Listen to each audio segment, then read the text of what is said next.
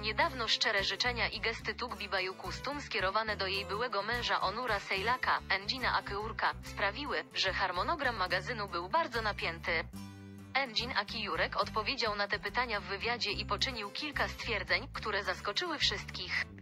Uderzające wypowiedzi Engin Akijurek w wywiadzie są następujące. Dziennikarza Engina Akyurka istnieje kwestia, która ostatnio przykuła uwagę mediów społecznościowych i prasy tabloidowej. Co sądzisz o szczerych życzeniach, jakie złożył ci były mąż Tugba Bajukustum, Onur Sejlak? Engin Akijurek, przede wszystkim dziękuję za wprowadzenie tej kwestii do porządku dziennego. Tak, pojawiła się sytuacja, która ostatnio przyciągnęła uwagę wielu osób. Szczere gesty i życzenia pana Onura bardzo mnie poruszyły. Co sądzisz o tych gestach? Engin Akijurek, właściwie mogę powiedzieć, że świece zapłonowe mnie zaskoczyły. Ponieważ koniec relacji jest często złożony i pełen procesów emocjonalnych. Jednakże pozytywne podejście pana Onura jest naprawdę godne podziwu.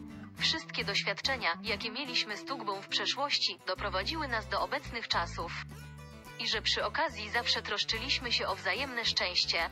Jak oceniasz szczere życzenia skierowane do ciebie przez dziennikarza Onura Sejlaka? Odpowiedź Engina Akyurka jest dla Onura Sejlaka dowodem na to, że szczere gesty świadczą o dojrzałości mężczyzny i drzemiącej w nim miłości. Relacja między mną a Tugbą nie była tylko małżeństwem. To był związek, w którym uzupełnialiśmy się, wzrastaliśmy razem i pokonywaliśmy trudności. Dlatego też szczere życzenia pana Onura nie dotyczą tylko szczęścia Tugbi, ale także odzwierciedlają nasze podejście do sprawy z szacunkiem i nasze szczęśliwe spojrzenie w przyszłość. Czy planujesz odwzajemnić te gesty? Engin Akijurek podkreśla, że oczywiście ważne jest zrozumienie i uszanowanie sytuacji każdego człowieka. Jaką postawę przyjmujesz, aby nie zostać przyćmioną przez przeszłość w swoim związku z Tugbą Bajukustun? Relacja między mną a Enginem Akyurkiem Tugbą nie dotyczy tylko przeszłości. Jesteśmy ludźmi, którzy się szanują, razem rozwijają, wspierają.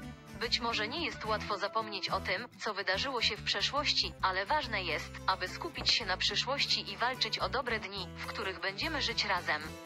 Szczere i dojrzałe wypowiedzi Engina Akyurka w tym wywiadzie wywarły duży wpływ na świat magazynów.